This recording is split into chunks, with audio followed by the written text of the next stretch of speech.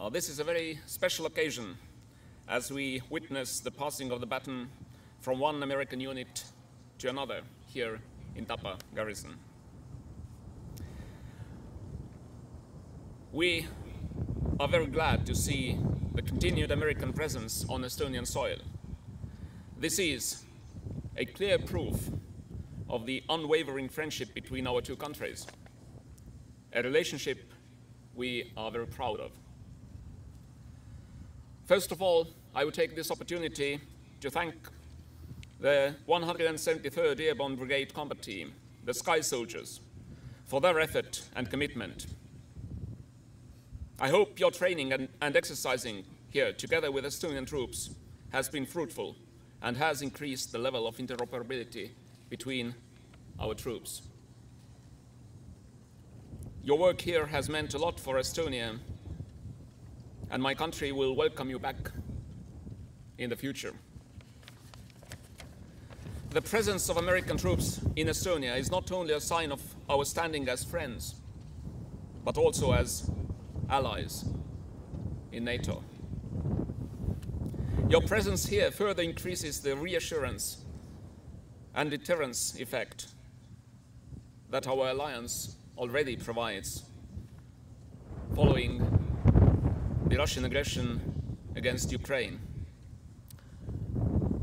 This aggression and its aftermath reminds us that war is unfortunately still a reality even in the 21st century Europe. But obviously, our task is to prevent a war, to prevent an aggression. And this also requires us to be ready to counter any threat of aggression.